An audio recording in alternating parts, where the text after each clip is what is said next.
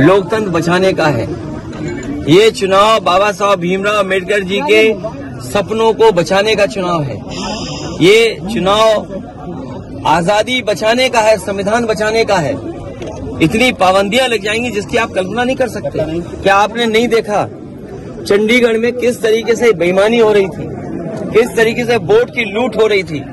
ये भारतीय जनता पार्टी कोई दल नहीं है, राजनीतिक। ये ग्रोह है, गिरोह। ये लगातार सरकार चाहे चुनाव आयोग हो चाहे कोर्ट हो चाहे और संस्थाएँ उनको प्रभावित कर रही है। हमारे मीडिया के लोगों को भी दबाव बना रही है कि अगर मीडिया के लोग सच्ची खबर चलाएँगे तो उनके उन पे भी पाबंदी है। बड़े लोगों के लिए सीबीआई हमारे छोटे पत्रकारों के लिए एसओ थाने वाले। तो बराबर का झगड़ा है।